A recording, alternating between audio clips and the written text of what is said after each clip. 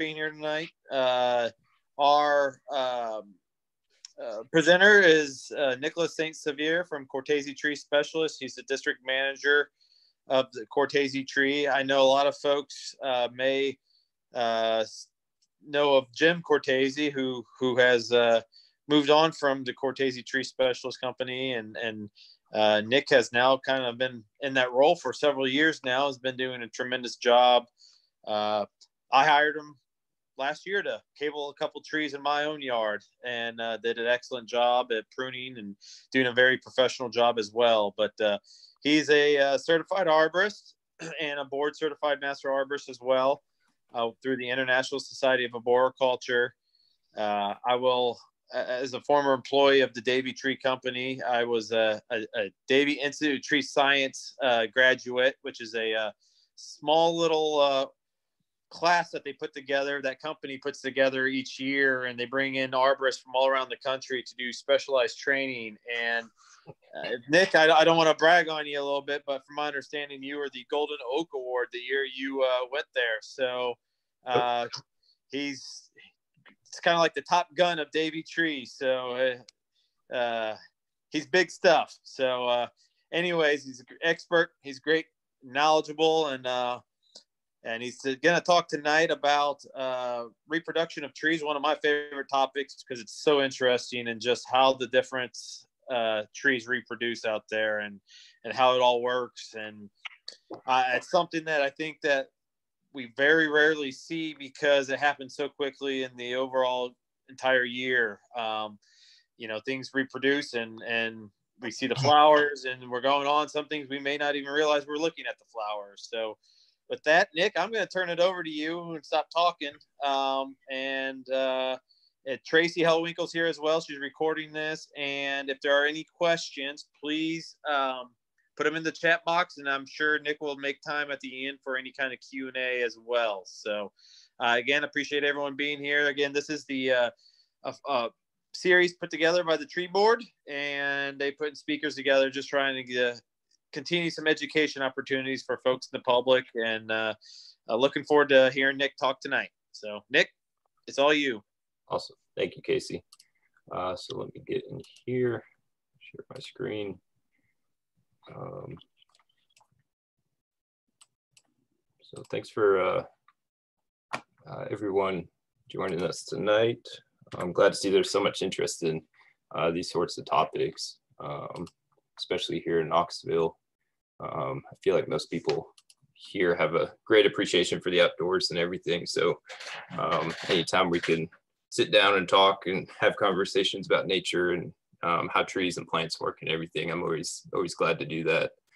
Um, so tonight I'm going to be talking about uh, sexual reproduction in plants. Um, I know that this could be a somewhat dry topic and um, if you're not careful. So um, I'm going to basically just kind of skirt on the edges of a lot of what we're going to talk about. We're going to talk about bloom anatomy, um, different types of um, different types of uh, trees and male and female, monoecious and dioecious, that sort of thing.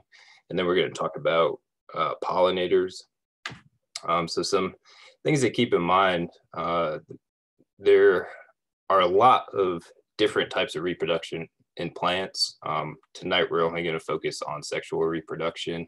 Um, there's a lot of other ways that trees do reproduce and can reproduce, such as rhizomes and corms and that sort of thing through asexual reproduction, but we're mainly actually only going to focus on sexual reproduction tonight. So um, I did a lot of research for this um, and learned a lot. So I hope everybody here can learn as much as I did um, when I was researching this topic. Um, it's not one of those things that Casey or myself or really anybody uses on a day-to-day basis unless you're a botanist, which I'm not. Um, but like I said, hopefully we could all take a little bit away from this and um, have some sort of higher level of appreciation towards uh, trees and plants and uh, especially blooms and flowers and pollinators and just nature in general. So um, So some things to keep in mind again is there's over 350,000 flowering plants in the world,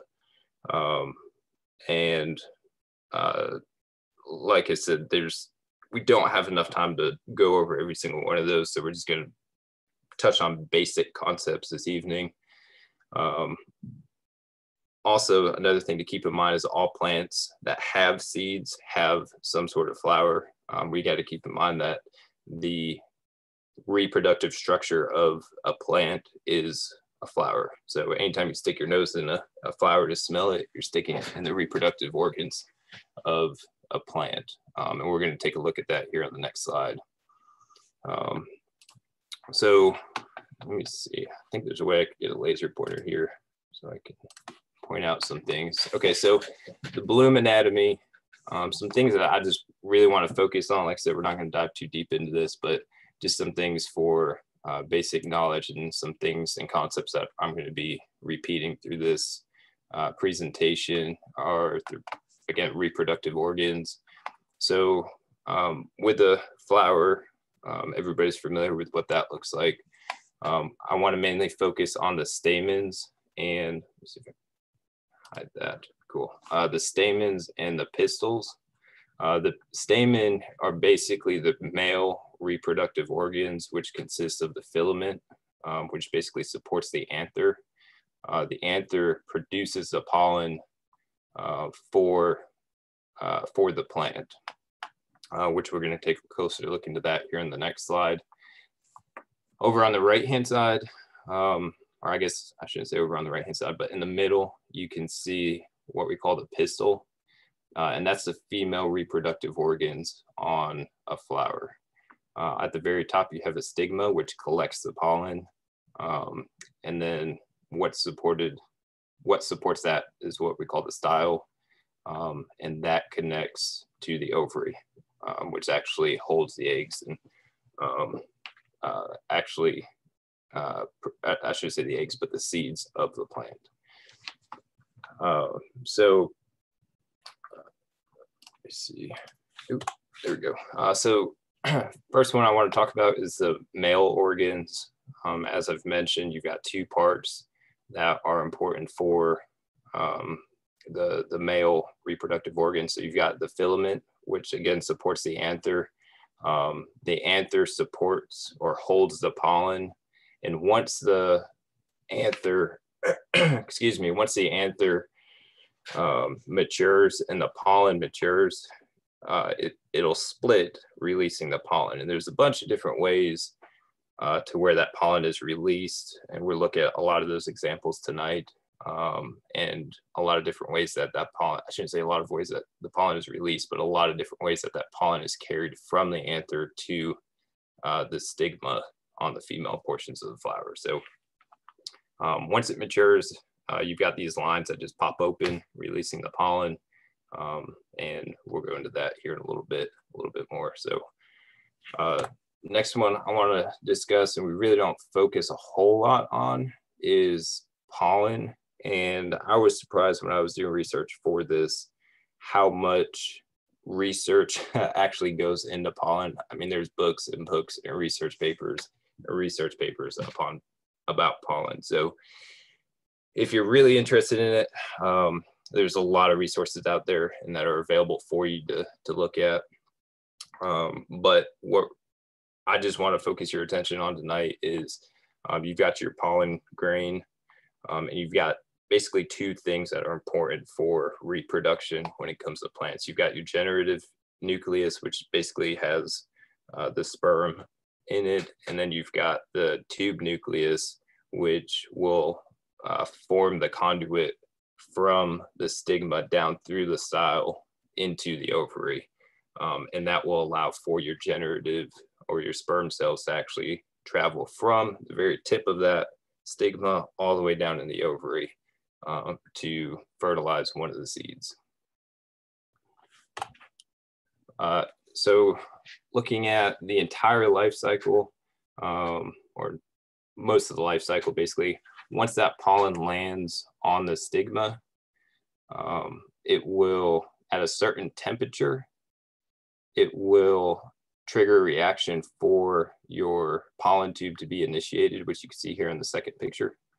Um, and once that pollen tube is initiated, uh, it grows incredibly quickly. It's actually one of the fastest growing um, one of the fastest growing cells um, in the in nature.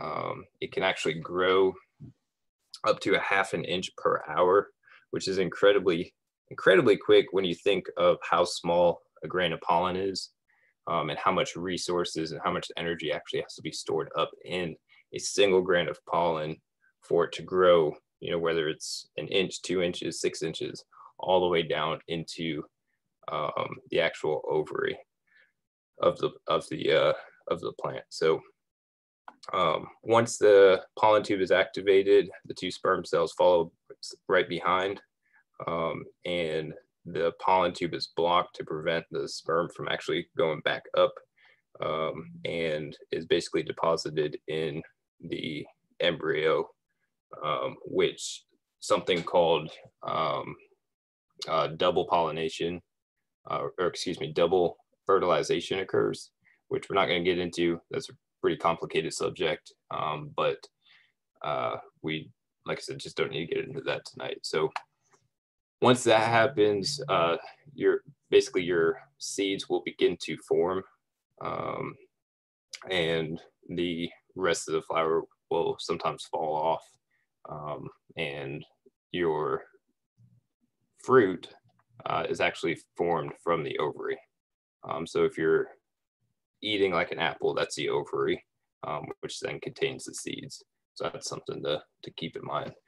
Um, so the next thing I wanted to talk about is uh, plant sexuality.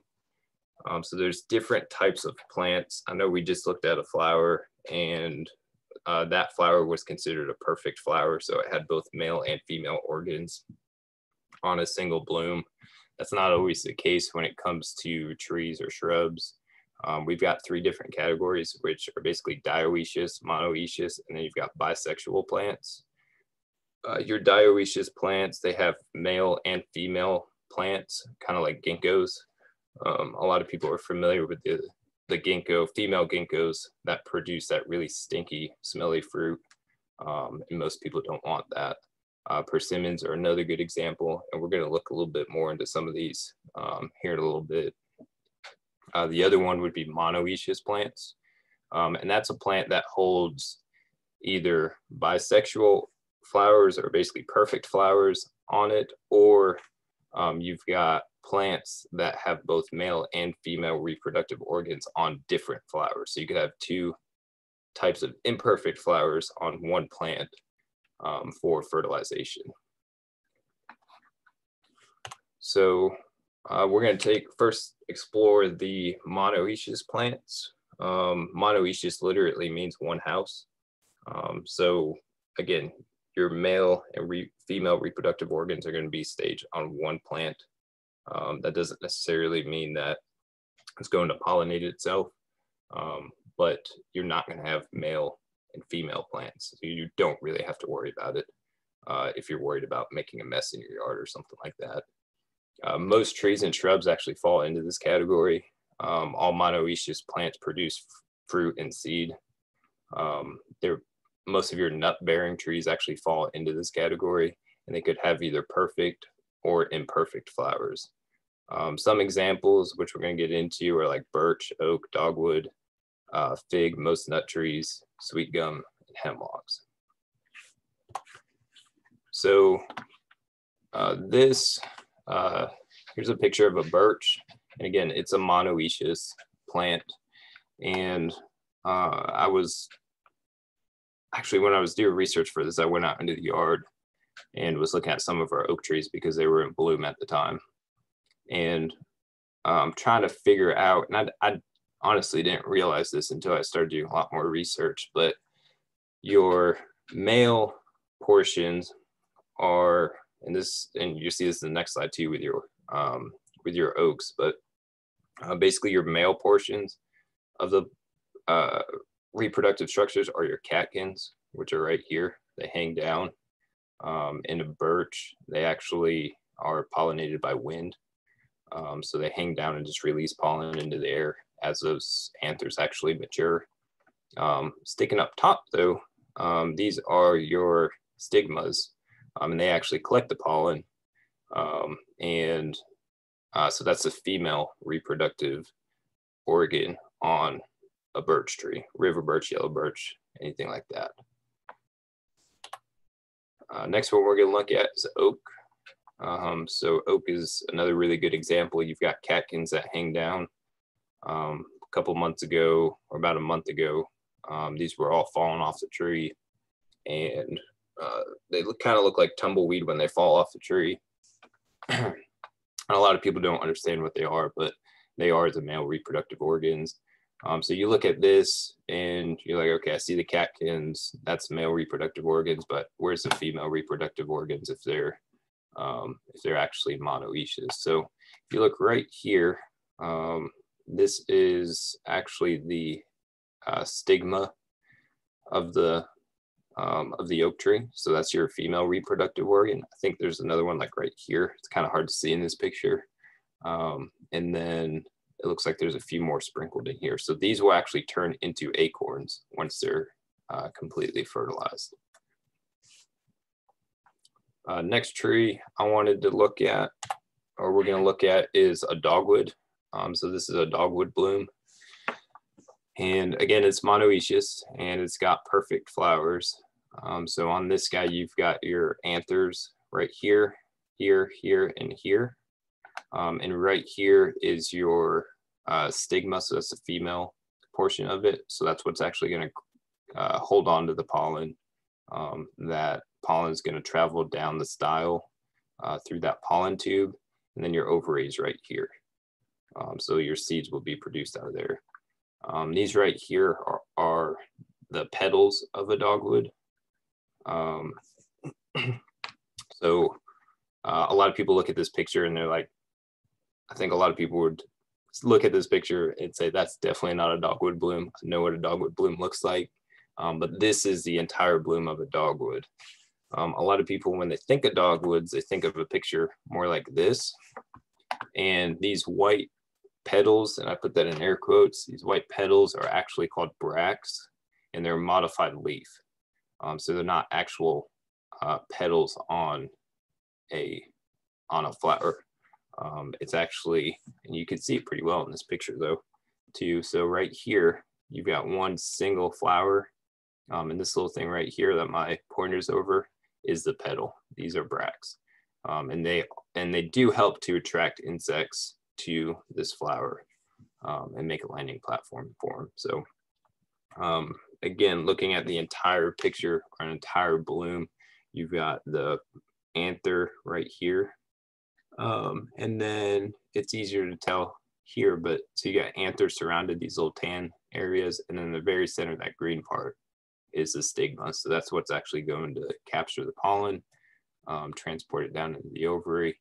And that's where your seed or your little berries are going to show up from uh, later on this year. So um, interesting thing about bracts is that they're actually more they're probably closer related to thorns because thorns on a like a rose bush are modified leaves as well. So these bracts are more closely related to that or thorns than they are actually flower petals. Um, another plant that has bracts, which most of us are familiar with, are poinsettias. Um, so this this Christmas, uh, you kind of missed the dogwood blooms this year, but this Christmas you could look at your poinsettias, and in the very center you have something very similar to this, where you have a cluster of flowers surrounded by those red bracts. Um, euphorbia is another plant that uh, tends to have bracts as well instead of actual flowers. Um, or I shouldn't say actual flowers. They have flowers, but they're surrounded by bracts instead of uh, petals. Uh, next one that is pretty interesting are your fig trees. And um, I didn't learn this until we listened to her presentation uh, a couple months ago. And uh, she posed a question of what does a fig tree blossom look like? And um, most of us think of figs and like if you if you think about a fig tree, you just don't think of you know when when do they actually bloom? Um, it's a good question, but fig trees, um, you've got the the actual figs themselves are inverted flowers. Um, so what you're eating is the flower, um, which stores the seeds inside. So Um, we don't actually eat the fruit on a fig tree. Well, we do, but it's inside um, and they're little tiny seeds. But we're mainly eating, and the sweet part is a fig. It is the actual fig itself. Um, so to give you a better understanding of that, I've got a cross section of a fig, um, which does a much better job about illustrating it than I was just able to do just speaking words. But um, so you've got inside of a fig, you've got your seeds, and this is actually the fruit of a fig. Um, and then you've got your female uh, reproductive organs, your anther or your stigma, excuse me. Um, these are actually already matured, so um, you won't have them on here, but all your male flowers are right here. And that's going to be important to keep in mind later on. Um, and we're going to look at this picture later on as well, because um, it's, it's a very interesting cycle on how this pollen gets to um, actually pollinating these or fertilizing these um, seeds. So we'll take a little closer look at that later, but on the inside, keep in mind you've got your anthers here, male reproductive organs, female reproductive organs here. Um, this little wasp is important for the pollination of it, but like I said, we'll look at that here in a little bit. So next plants that we're going to look at are dioecious plants, and dioecious literally means uh, two houses. Um, so that means that you're going to have both male and re both male and female uh, plants. So that's going to be like your ginkgos, your persimmon, mulberries, um, Kentucky coffee tree, that sort of thing. So um, it can have, or they have imperfect flowers on two separate plants. Um, and keep in mind that only females have have the fruit. So if you've got a yard and you're looking to plant a tree of some sort, you don't want to deal with the mess, um, uh, then you're going to want to look for male cultivars and varieties of those of those plants. So the first one, uh, first example we're going to look at is your persimmon. Um, so here on the left-hand side, you're going to see the male flower, and on the right-hand side, you're going to see your female flower. Um, if you look at the very center, center, so you've got your petal, petals on the outside on both of these, um, and on, on the inside, um, these are your anthers. So they're what's that's what's going to actually release and pr or produce and release uh, pollen. On the right hand side, your female flowers, you've got your anthers are all sticking out, um, and that's what's going to hold onto the grab onto the pollen and fertilize um, uh, fertilize the ovary. Another interesting thing about persimmons is that if you're trying to sex them, um, you can do it early on, especially if you can't get close enough to the flowers to actually see if they've got anthers and stigmas. Is if you look at the base of them, uh, your persimmon trees, they've got really, really swollen sepals at the base of them um, compared to your male flowers that don't have as pronounced sepals um, at the base of them. So if you can't get close enough, you can look up, just look for the swelling. If you got really pronounced sepals, more than likely you've got a girl. Uh, next one we're going to look at are mulberries. Mulberries are really interesting because they've got male and female trees as well. Um, so your male trees are over here, and I know this picture is kind of fuzzy, um, but you could kind of see the anthers sticking out. Um, you've got that line where it actually pops open and releases that pollen. And then over here on the right hand side, you've got your female flowers again. Um, and these are what's actually going to hold on to and grab onto that pollen. The interesting thing about mulberries is that when they undergo um, periods of uh, incredible stress, they do have the ability to actually revert to the opposite sex. They're one of the few trees that can do that. Um, so if you have a male tree uh, for a long, long time, you never get fruit, and the thing's 30, 40, 50 years old, um, which is old for a mulberry, but um, and all of a sudden it just starts putting out fruit, um, it it may have reverted and changed its sex um, because of something that happened. It could be either uh, construction damage or severe drought or um, anything like that. So um, I've had had that happen to to clients, and um, with, they ended up getting um, having the trees cut down because they were they could just be so messy. Mul- mulberries can. So Uh, next one that most of us are very familiar with, um, and this was another one that I wasn't all that familiar with the uh, reproductive organs on, but now that I see it, I could, um, it would be pretty easy to identify it. Um, so your male is on the left, female on the right. Um, they've got catkins, just like your oak trees do, um, but they don't have the female portions, the stigma sticking up on the top. So um, the stigmas are going to be on a totally separate tree. Um, again, these are going to latch onto the pollen. This is your um, your uh, uh, not pollen tube. Your uh, and no, I'm sorry, I forgot the word for it. But um, but basically, uh, your ovary is going to be down here. And when your pollen tube forms, you can see how far it has to go, and it makes that journey in just a couple hours. Um, and you're talking something like you could barely even see, and some something that has enough energy stored up in it that's very, very, very small. So you can imagine how small that actual pollen tube is that's going to carry that the sperm down into the ovary. Uh, next one we're going to look at is the Kentucky coffee tree. Um, so Kentucky coffee trees, anybody that has them and they have females, they know that they get those really big brown coffee beans that you can't mulch. I mean, they're worse than magnolia flowers. They've got them over at the Knoxville Botanical Gardens, um, and they've actually got female uh, Kentucky coffee trees over there, but you can't mulch them. You just got to pick them up, get rid of them. They're just so hard to, to deal with. So if you want a Kentucky coffee tree um, and you don't want the mess, you want to make sure that you've got a male um, male Kentucky coffee tree, which you can see over here. Again, anthers are pretty obvious. On here, your uh, stigma in the very center right here. Um, so you've got your male, females uh, on two separate two separate plants. So next thing uh, we're going to talk about, uh, we're going to talk about pollinators. And there's several different ways that trees can actually get pollinated. Um, one is uh, through wind, uh, which we'll take a look at that here on the next slide. Uh, flies actually do a lot of pollinating. The obvious ones like bees and wasps, uh, butterflies and moths, again, those are pretty obvious ones that everybody's very familiar with.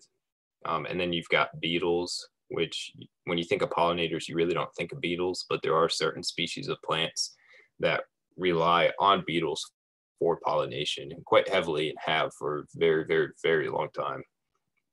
Um, and then you've got mammals such as hummingbirds, bats, etc. Um, so the examples that we're going to look at, um, they aren't necessarily 100% pollinator specific. Um, so they're not going to, it's not going to be like a one size fits all. Like, you know, if we look at a dogwood, excuse me, it's not going to be like this one, one uh, way of pollination is the only way it gets pollinated. There's kind of a mixture. Nature's pretty good about doing that. Um, and that's just for survival of the fittest, or not survival of the fittest, but just having multiple ways to reproduce um, or spread its pollen just ensures the um, long-term sustain long-term success of that species of plants.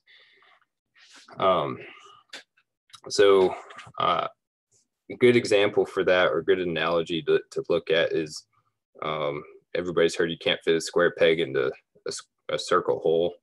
Um, but you if your square peg is small enough you can fit it in circle hole. It's not going to have the most amount of surface area so it may not be most effective um, but you can still kind of make it work um, and most the reason why I bring that up is because most trees and shrubs, they have very specific pollination methods that work best for them. Um, another interesting thing is that uh, the scientists estimate that there's 200,000 to 350,000 different animal species that assist with pollination. So um, it's not, um, these are just broad coverings of those. So you've got different species of beetles, different species of bees and wasps and butterflies and moths. So there's a lot of pollination that happens from a lot of things that we might not even necessarily think about. Uh, so first one we're going to look at is uh, wind pollination. And I'm not going to spend a whole lot of time on this, but the fancy term for it, if anybody wants to know, is anemophily. Um, it makes up about 10% of all pollination. And most of your nut-bearing trees, such as walnut, pecan, oak, um, are going to fall into this category.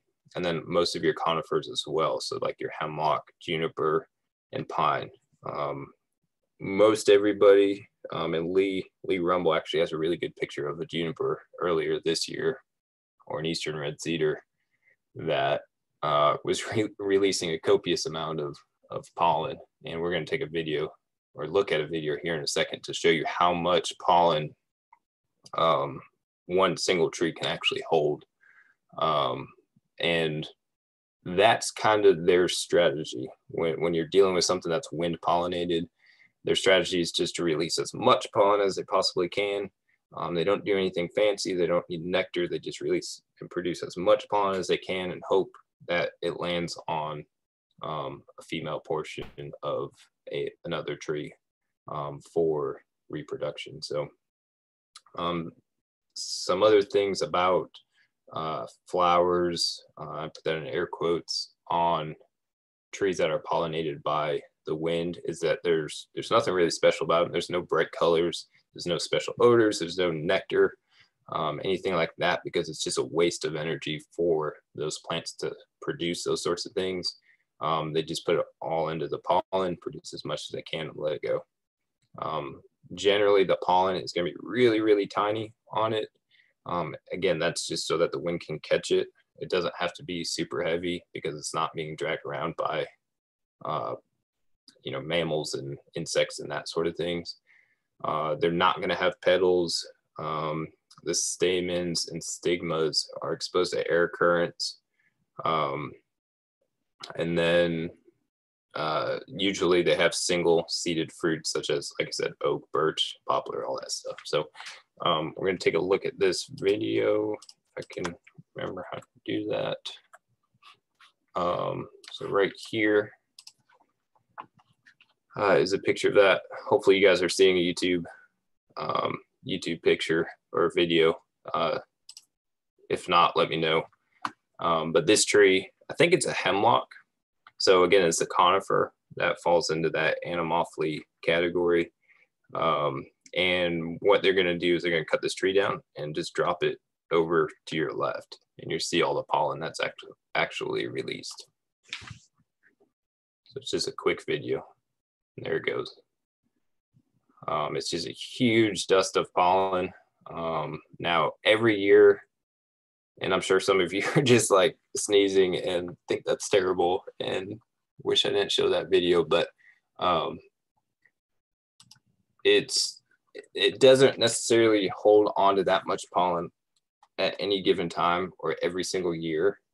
Um, what will uh, end up happening is when you have years like what we did this year, where it was kind of dry, kind of cool, I mean, you had a slow oncoming of those, um, of those, uh, of the pollen. It'll hold it and it won't drop it until you get some strong winds or something like that, or you drop the tree, um, or bump into it, and then you just get this huge cl cloud of of pollen. So this year, um, was a really bad year for cedar fever, um, which again, I was talking to Lee Rumble about because uh, he was showing me videos of, of some cedar trees releasing their pollen and it, like I said, it'll about make you sneeze just by looking at it. So um, that's what anemophily is. Um, I don't really have anything else regarding that. So um, next one we're going to look at are your flies. And a lot of people, when they think of flies, they don't think of them as pollinators. They think of them as um, something that will actually that does uh, decomposing in the environment, which they they do do that, especially in the larval stages. Um, so they generally think of like dead, decaying flesh, uh, manure, that sort of thing. Um, but there are some species of plants that rely on flies for pollination. Um, and again, you think of a fly and you're like, well, how effective of a, of a pollinator can it actually be? This is a great, great example of um, just how effective they, they actually can be. Um, most insects have these little hairs on them, which are really good for carrying pollen. Um, and as you can see, this, um, I don't know what kind of fly, is that, blue bottle fly um, is what this guy is. And he's got a bunch of hairs, a bunch of pollen he's holding on to. And one thing to keep in mind as well is that when you're looking at an insect that's covered with pollen or hair on it, um, and that, that may not be the right terminology, but when you've got all these little hairs on them, wherever that hair is most um, concentrated uh, is generally how that insect is going to pollinate. So um, we'll look into some of those examples a little later on as we're looking at like the beetles and the honeybees um, and just how how they pollinate compared to a fly. So flies are just kind of covered with it, um, but it's mainly accumulated on the bottom. So they're going to pollinate by crawling over stuff um, or insects, or not insects, but plants and that sort of thing. Um, generally, your flies are going to be attracted to darker colored uh, flowers and um, flowers that actually stink um, for somewhat obvious reasons. Um, like I said, most of us, when we think of flies, we think of decaying tissue and manure and that sort of thing. So flowers and different plants will replicate those uh, those scents and smells and, and aromas and whatnot to attract things like flies to them. Uh, so uh, one plant that uh, your flies do pollinate is our trillium. Um, they do, and specifically like the copper trillium, um, not necessarily the yellow ones, but the copper trilliums do release a somewhat stinky smell to them, and they are and do rely on flies for pollination, and then they do rely on ants for seed dispersal. Um, so that's one great example. You see this guy crawling up in here, um, just kind of crawling around. And again, as the previous slide showed, um, that's how they tend to pollinate. They're going to carry the pollen underneath. So uh, plants are really, really interesting um, in their, if I could use this term, intelligence um, and their manipulation of insects and uh, animals around them to get them to reproduce for them. Um, and this is a, a classic example. Uh, next one we're going to look at, and um, I wasn't even sure what uh, this bloom was, um, or what, because this is a pawpaw bloom, but I didn't even know what a pawpaw bloom really looked like until earlier this year. I've never seen one in person um, until I was on one of my clients' um, properties. And uh, pawpaws are a little annoying, um, especially when doing research on them, because there's some sources that say they're monoecious, and then there's others that say they're dioecious. Um, but it's my understanding, and what makes most sense to me is that pawpaws are uh, are pro- uh, basically meaning that they have both male and female reproductive organs on every flower, but each stamen, um, so these little fuzzy things right here, um, is going to open at a different time. Um, I'm sorry, the stamen's in the middle. Um, but so it'll basically prevent self-pollination um, and actually requires a totally separate tree um, to pollinate. So anybody that's worked with pawpaws know that they can be really finicky um, in regards to actually getting them to produce fruit.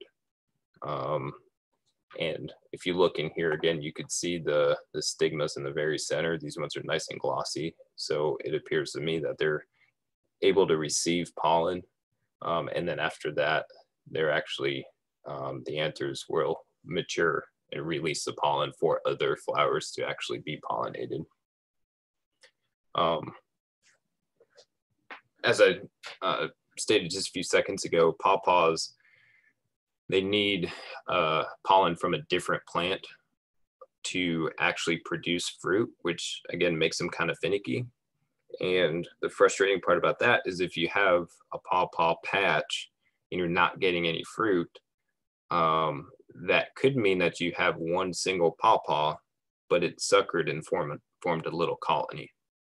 Um, so if you aren't getting any fruit and you've had your pawpaw for 10, 15, 20 years, um, it would be good to introduce another cultivar of a pawpaw um, to help actually fertilize uh, the one that you have. Um, a really good example, actually, um, of pawpaws in bloom and actually producing fruit is um, actually over in Victor Ashe Park. Um, as you can see here, you've got a fly on this paw, pawpaw bloom. Um, they've got the dark colors on it, just like that trillium that we just looked at. So they're going to attract flies. But if you go to Victor Ashe Park, um, they've that there's a, a, greenway that that borders Cumberland Horse Stables. And if you walk down there here in a few months, you see a bunch of pawpaws. And I attribute a lot of that for um, having those horse stables right there. It's a good location for the pawpaws. You've got a bunch of them, but you've also got a lot of flies flying around as well. Um, so if you want to see pawpaws, that, that's a really good place to go um, uh, to, to have a look at them. Uh, next one we're going to look at, and for everybody that likes chocolate, which is probably everybody on this talk, um, this may give you a new appreciation towards towards flies um, because chocolate is actually pollinated by this little guy. It's called a chocolate midge, um, and it, it is a type of fly. You see all the little hairs and everything on them uh, that collects pollen. Um, if you look at, if we look at the next slide, um, that's the actual bloom of a uh, chocolate flower. And they're pretty interesting as well because um, under these little hoods right here, you can see the anthers, so the male portion of it. Um, and then you've got the female portion right here. Now, I'm not 100% sure how um, the pollination occurs on this. Um, I was doing a bunch of research, couldn't find it. Um, but if you look back on this little guy, you got a bunch of hairs on the top. Um, and then same thing on this little guy. That looks like one. I'm not 100% positive, but looks like he's carrying some sort of pollen. Um, so this guy walking around, brushing around on all the inside of this will um, will actually pollinate your cocoa trees. And the other interesting part about the cocoa midge is that they're one of the few things that can actually pollinate um, our our chocolate supply. So um, if we lose chocolate midges, um, we're going to have a lot of issues with actually producing chocolate and you know one of our most loved foods or could potentially go away. Um, the other interesting thing about the cocoa midge is that their entire life cycle only lasts about 30 days. Um, they spend about 14 days as a larvae. Um, after that 14 days they form a little cocoon. They spend three days in that cocoon and then they hatch um, or come out of that cocoon and then they have 10 days as an adult which they do all their pollination um, and then all their breeding and then they and they end up dying like most flies do um, you know most flies don't have a long lifespan so it's a constant renewal um, and there's got to be a constant supply and breeding of cocoa midges in order for them to be successful and uh, for our chocolate um, chocolate trees to be successful as well. Um, so you basically get one generation per month on your, your chocolate uh, chocolate midges. Um, next one we're going to look at is hoverfly. And a lot of people are familiar with these. They call them good news bees. Um, the uh, looking at this picture, you look at that and you're like, well, that doesn't look fuzzy at all. Like how, how is that going to carry any pollen? Um, the next slide we're going to show is it'll show how fuzzy um, hoverflies actually are.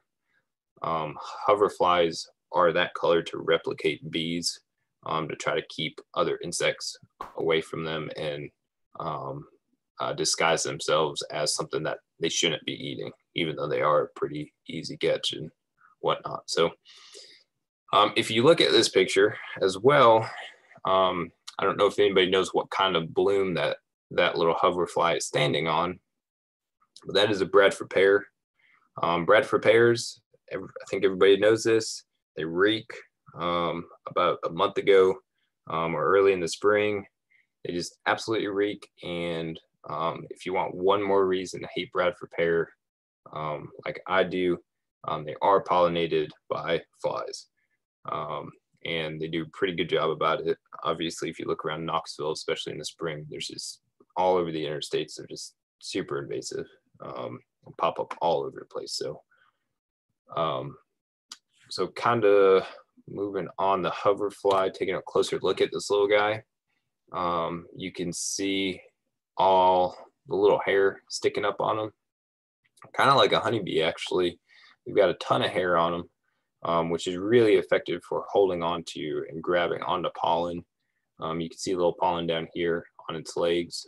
Um, and so as it's walking over um, uh, flowers and that sort of thing, it's, it's pollinated, dropping um, this pollen on stigmas and, and helping out with pollination. So, um, you know, flies definitely, we don't want to dis disregard them.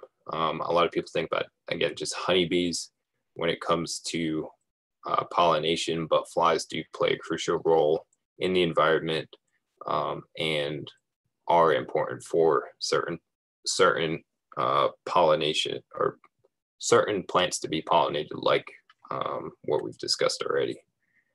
So the next one we're going to look at are our honeybees.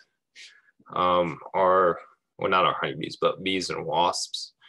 And bees typically like um, blooms that are full of nectar. Um, they're generally going to be more brightly colored uh, with petals that are usually blue or yellow or a mixture of these. Um, bees really do like blue, so if you're allergic to bees, it's probably not a good idea to wear blue.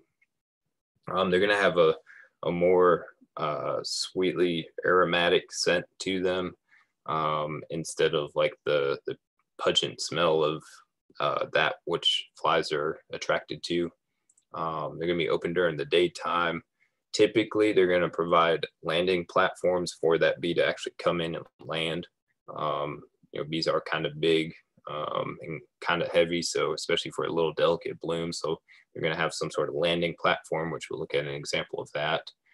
Um, and then um, or they're going to have like a bunch of flowers um, to where again it's going to provide a really nice landing platform. So if you look at this picture, uh, bees are really effective pollinators, and this is why we pay so much attention to them. And it's because they're so furry um, or so fuzzy that they hold a lot of pollen every time they go to visit something. They're picking up pollen from all over the place, but they also have these pollen sacks um, that they they transport as well. Um, and they actually use that for um, a source of protein. They bring that back to the nest um, and, and, use it for uh, for food. Um, another thing I wanted to mention too is, um, and a lot of people don't realize this because when we think about pollinators and trying to protect our pollinators, they we all immediately think of honeybees, but the honeybees that we use here in the United States are actually European honeybees. So they weren't here before the settlers came in. Um, so the only reason why I bring that up is because it kind of forces you to think about, you know, what was here first and what was doing all the pollination here in the United States before these European honeybees came in and did that. You know, there were all kinds of other species that were here doing that sort of pollination. And as I mentioned um, earlier in this presentation, that there's um, what 350,000 different species that actually contribute to pollination. So um, I love honeybees, but it's not the only thing that we really need to be focusing on when we're talking about pollination and just saving saving the honeybees. There's a lot of other things that come into consideration um, that that we need to consider as well, and that includes flies and beetles and that sort of thing. So as I mentioned before, we're going to take a look at the fig. I'll give you the entire life cycle of a, a fig um, it is actually pollinated by a wasp.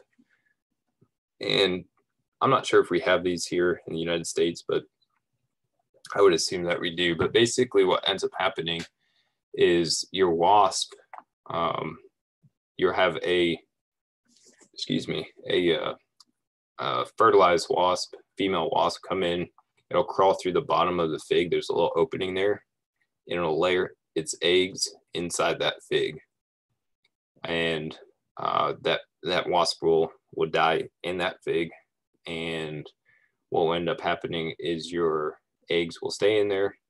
The males will hatch first, um, and they will fertilize the females before they hatch.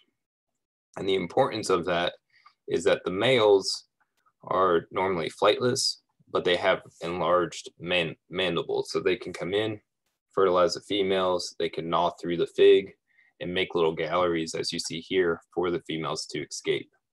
Um, so once the females hatch, um, they're called through the inside of the fig, picking up pollen, all that sort of thing, fly off, visit the, another fig, and the process just repeats itself. Um, here's that picture I was we were looking at earlier, um, and you can see that at the very base of the fig um, is that little hole that we were talking about. And anybody that's turned a fig over, they they know exactly uh, what that looks like. Um, and they crawl on in through here, um, and then it's difficult for them to escape uh, once they're actually in there. And they're just come in, lay all their eggs, and um, basically complete their life cycle inside of a fig. That does mean that if you are eating figs, you are eating uh, little baby wasps um, as well. So um, if you want to gross out your friends, that may be one to um, share with them. Um, they're not the big wasps that sting you, um, and they're not threatening to humans or anything like that, but they do, they are a type of wasp. Next one we're going to look at is our carpenter bees, and this is a native bee species. Um, and a lot of people dread these guys and try to kill them and um, just destroy them, and uh, because of all the damage and havoc they can actually cause on houses and structures and that sort of thing.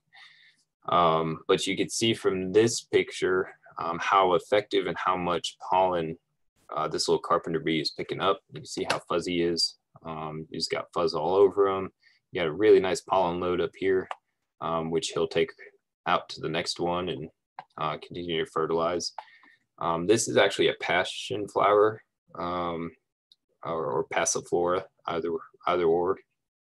Um, it is native and they do kind of take over. I've got some in my yard that I just let come back because they are so good for pollinators. And there are some um, insects that do use them as host plants. Um, but this is a really good example of a flower that does a really good job about manipulating insects uh, for its own good and for its reproduction. Um, and I'm going to show you picture, the next picture, um, because if you look at this, you've got your anthers here, which is your male portion, which is releasing the pollen. And then you've got your female portion, the stigma up here.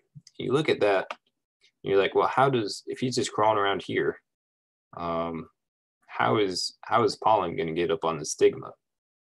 Well, pa passion flowers do something really interesting, and that is if you look at this picture, you can see these stigmas are now down. So it's probably later in the day that this picture was taken. Um, again, if you go back, oops, go back, there we go. Um, so if you go back to this picture, what passion flowers will do is early in the day, these stigmas will be up. Um, bees will come in, they start feeding on the nectar of the passion flower. Um, they pick up a pollen load, and as the day progresses on, these will start to droop. Um, and as they start to droop, um, they'll be able to pick up pollen uh, from the back of carpenter bees. So the hopes is that um, they picked up pollen from another flower to help pollinate it. So again, you're avoiding cross pollination or self pollination, excuse me. Um, again, this is a really effective way of pollination.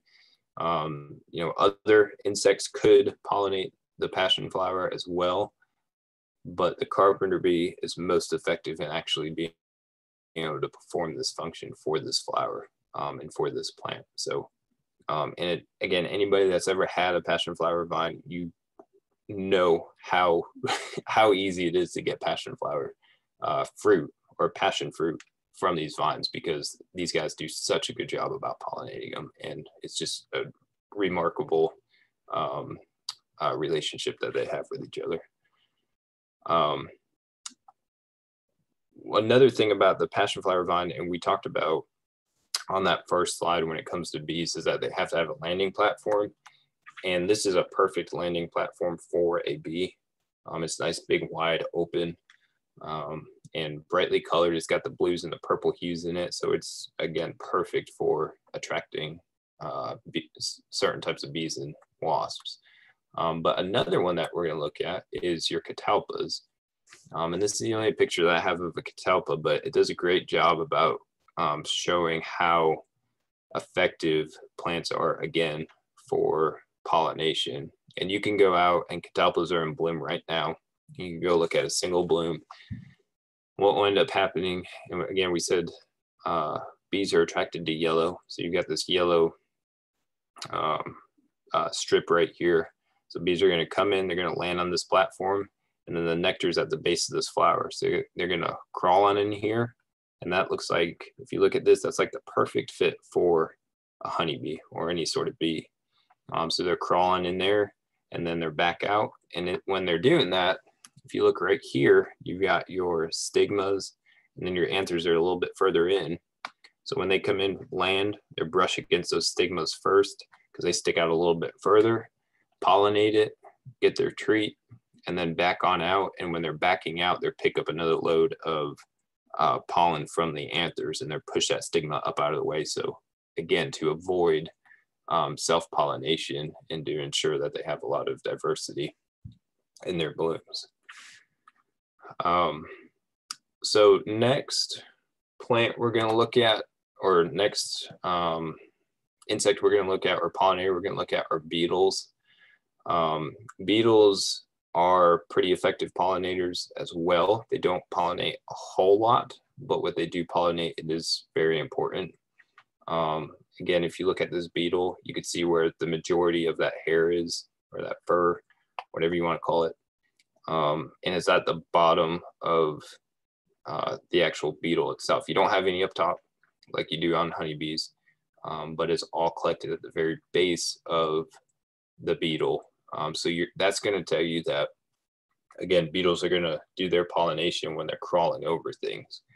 Um, so when you think of beetles, again, you think of probably more like uh, decomposers in the environment, like flies, um, but they're not necessarily attracted to that. Um, and anybody that has roses is very familiar with the Japanese beetle because Japanese beetles love um, roses. So typically, your your beetles are going to have bowl-shaped um, sexual with the sexual organs exposed. They're going to be white, dull white, or green. Um, they're going to have a strong fruity smell to them. Normally open during the day, um, but they may also um, pollinate small clusters of flowers.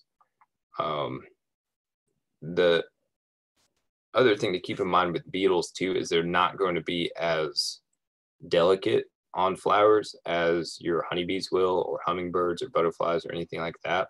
Um, they're going to be really, really clumsy uh, when it comes to pollination and moving around. I think everybody's see, watched a beetle and they like fall over on their back, and they're just they're just kind of goofy to watch them, and they really have a hard time staying upright. But um, they uh, they that that's what they're going to need to actually effectively pollinate um, a, a flower. So first one um, is the tulip poplar. Um, if you look at the tulip poplar, uh, tulip poplar bloom, they're perfectly um, adapted to having beetles crawl around on them. You can see all your anthers here. They're all exposed. And then your stigma um, and your actually ovary in the middle. So beetles are going to come in, land on it. You're going to crawl all over these, um, crawl over this, take a snack, eat the pollen, eat the petals, all that stuff, um, while pollinating um, these blooms.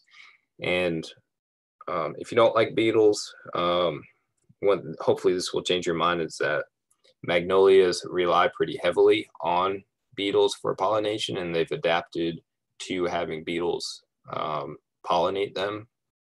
And they're actually one of the first uh, effective pollinators um, when you when you look back at nature and how it's um, evolved and adapted and um, that sort of thing. So Um, you know, beetles make up the largest portion. I think they make up like 40% of all insects. Um, it may even be all animals on the planet. So um, for nature not to use beetles as a pollinator would just be um, not a smart move. So um, we do have them all over the place and they are important for uh, pollination.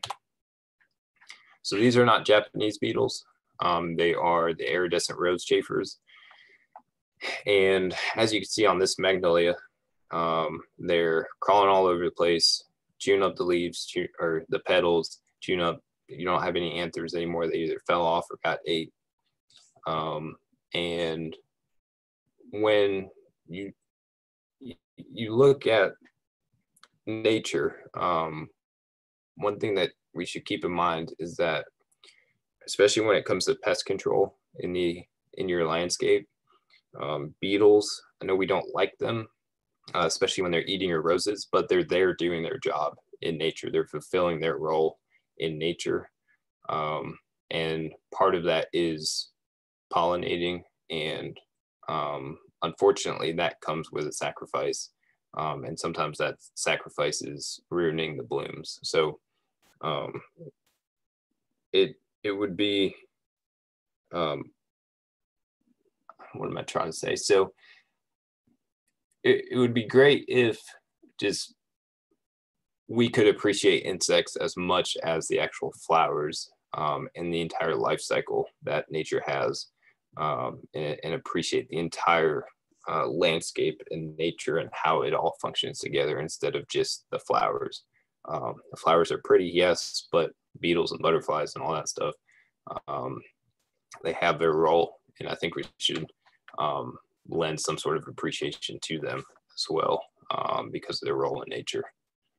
So um, another thing that you'll notice in this picture, and generally if you look at roses as well, um, when they start eating the petals and everything, they normally leave your stigma um, in the actual ovary intact. So they eat everything else.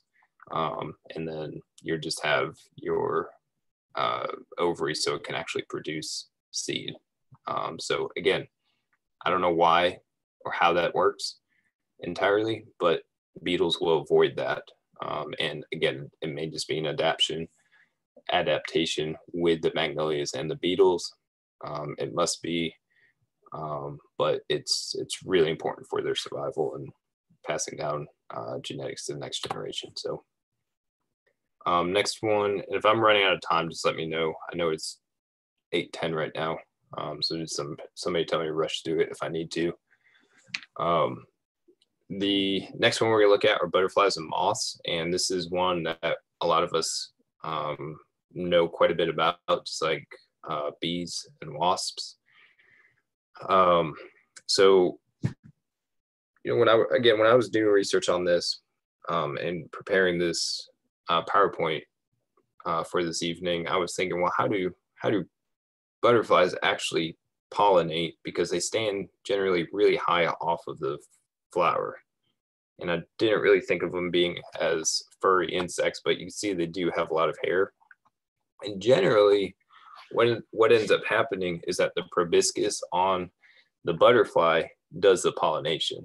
Um, so butterflies will, uh, when they stick their proboscis down into a bloom or flower, um, it'll pick up pollen, but they also do it intentionally and unintentionally um, because butterflies will actually consume um, and put their saliva on some of the pollen and actually consume pollen as well a lot of people, and I know I did as well, when you think of a butterfly, you think of it just feeding on the nectar and going after the sugary stuff, but they also rely on um, a lot of other resources as well.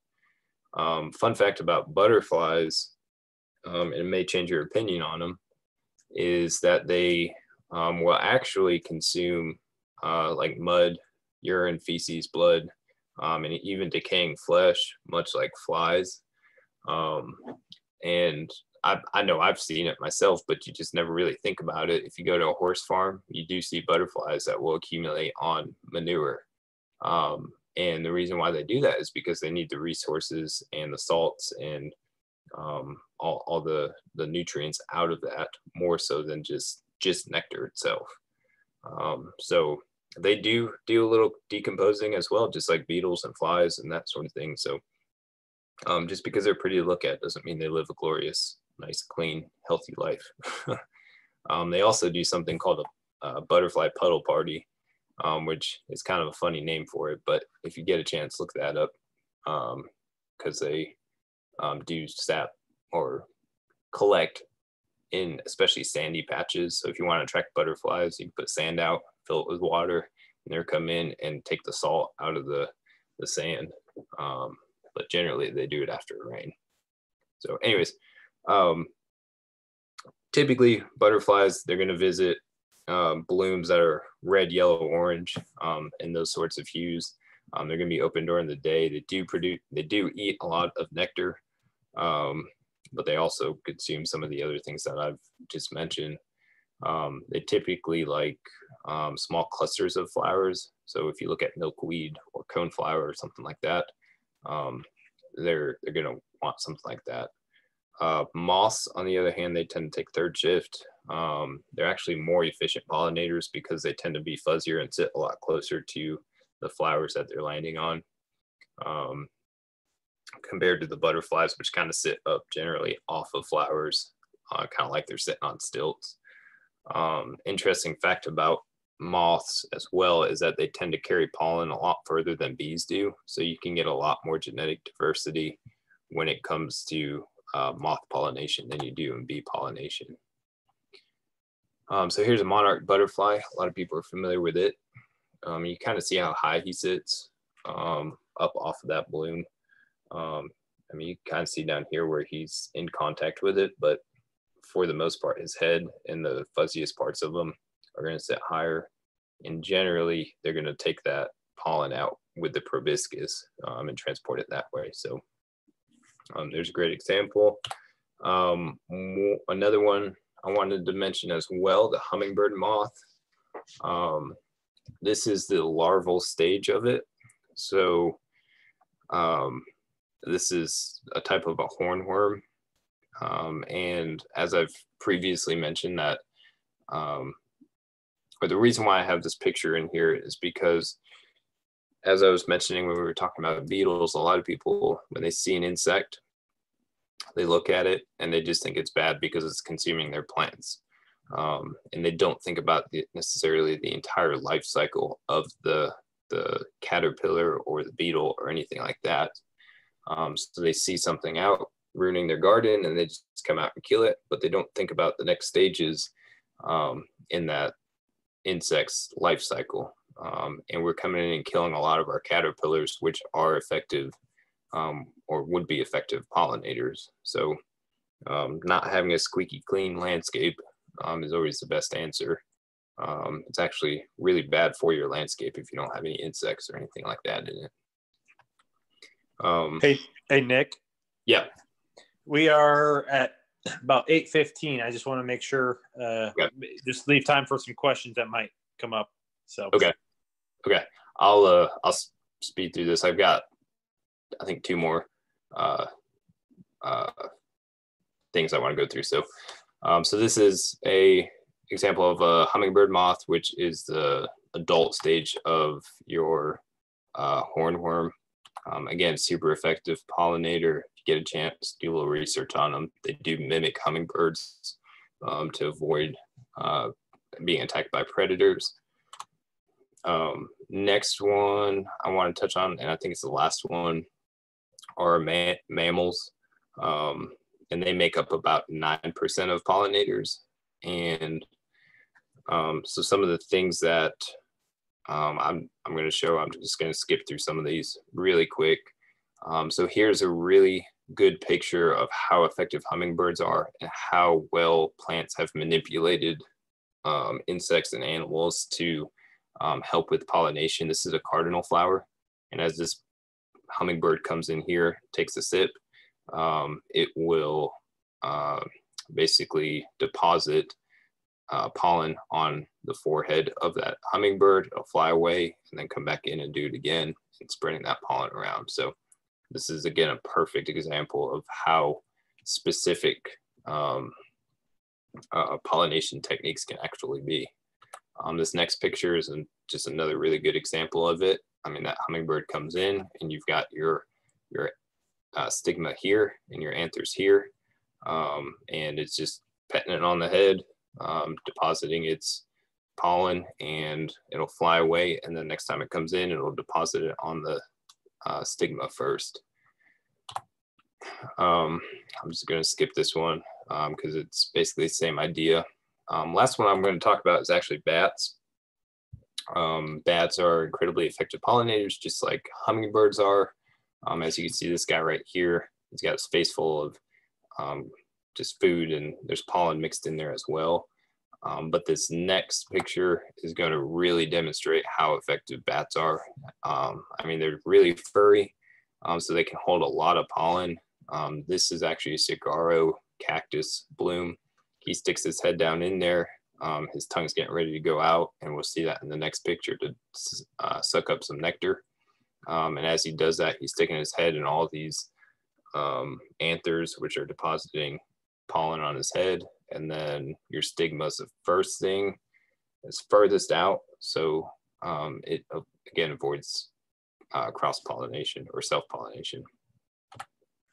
Um, here's a um, another really good example of it, and this one's similar to the to the hummingbird, to where you've got your reproductive organs on the outside, depositing it on the head, um, and then down here you could see the ovary of that plant. So um, you could see how far that pollen tube actually needs to form once it's uh, once it's actually deposited, once the pollen's deposited.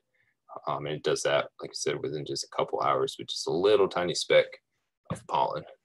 So, all right. Um, so last thing I want to leave you with um, uh, before we take questions is um, just this quote. Um, uh, it goes over the, or just basically mentions the worth the economic value of pollinators.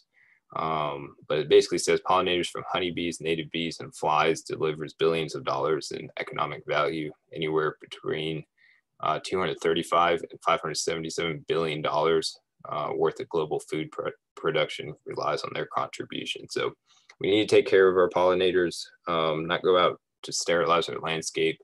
Um, and we need to learn to work with insects, not against them, and appreciate every stage of life. So um, that's all I have for you. I hope you guys enjoyed this. Um, and I guess we will um, open this up to some questions. Thank you. Hey, Nick, I, it's Casey. I have a quick question to kind of kick this off real quick. Uh, you hear a lot about, uh, obviously, with pesticides and the uh, detriment they have on pollinators are uh, uh, one of the most re- widely used ones. Obviously, is glyphosate.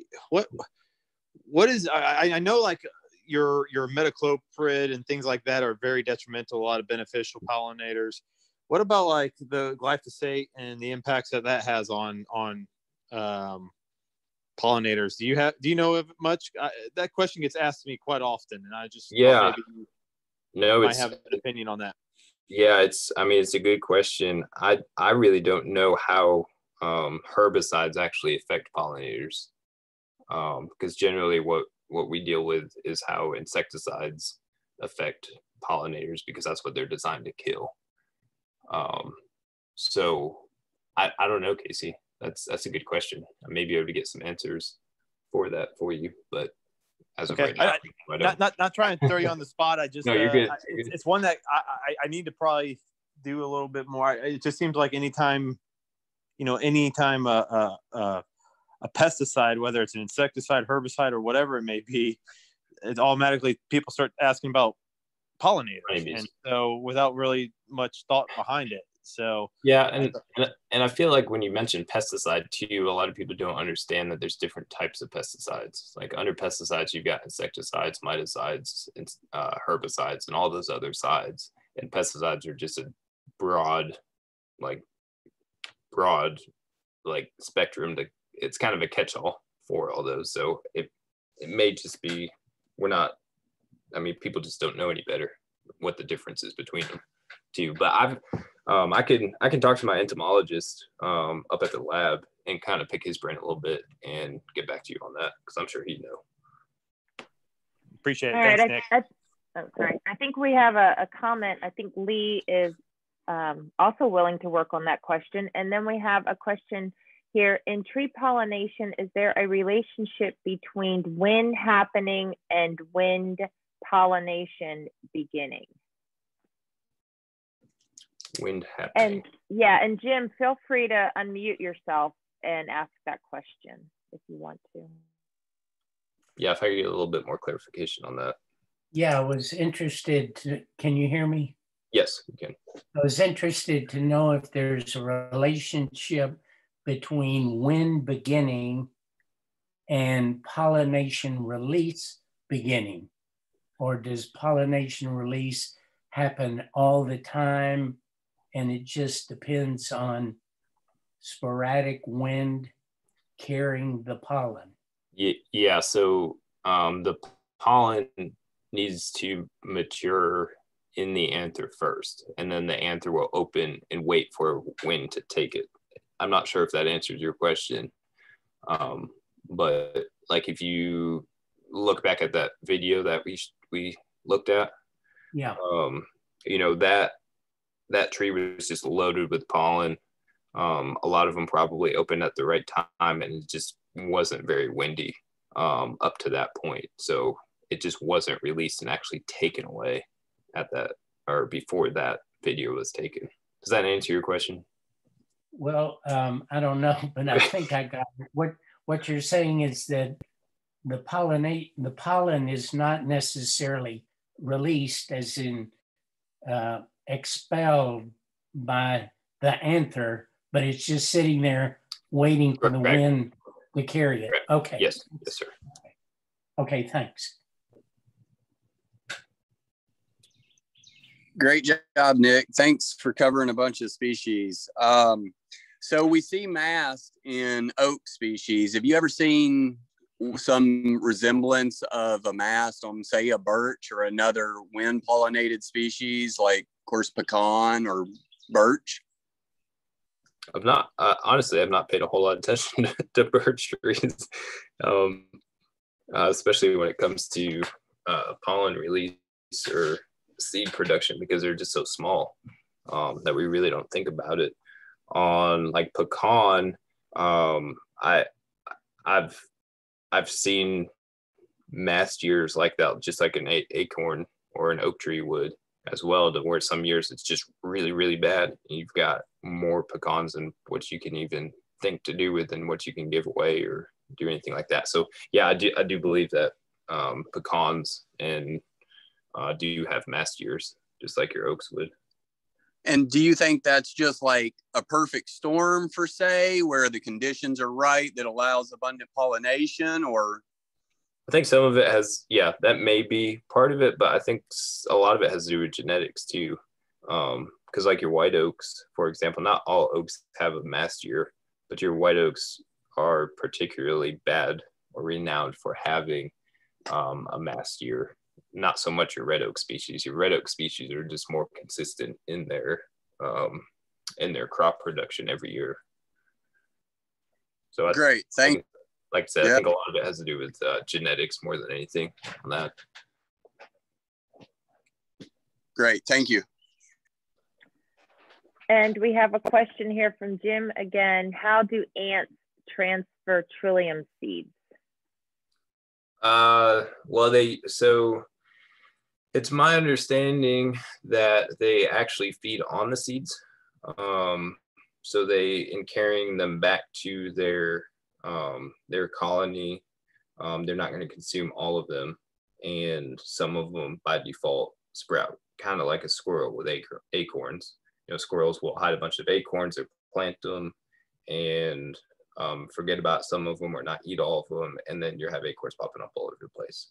So it's a similar um, similar system, just on a much smaller scale.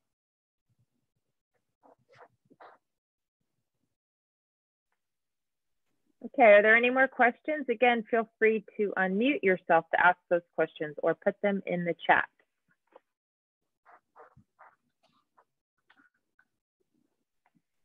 I think we're good.